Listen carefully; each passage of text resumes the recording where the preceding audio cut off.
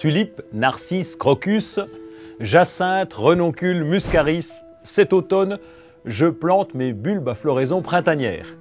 Dahlia, renoncule, glaïeul, lys, cana.